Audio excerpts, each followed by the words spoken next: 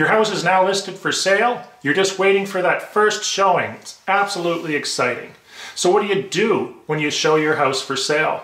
What you want to do is pretend it's being videoed or photographed. In other words, have lots of light. Cameras like light, people love light.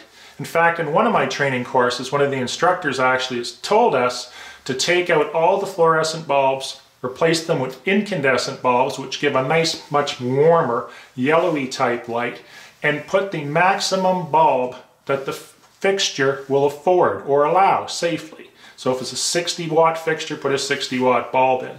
The more light you can introduce to your house, the bigger it's going to seem, the more comfortable it will appear to the purchaser, and the likelihood of getting an offer is much higher than a dim, darkly lit house. Make sure those curtains are open, the windows give a fresh uh, smell to it, remove those kitty litter boxes and dog feed bowls, and your road to success will be a lot shorter to getting your house sold.